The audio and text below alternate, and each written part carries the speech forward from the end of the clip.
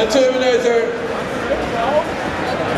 zorgde ook voor het echte vuurwerk.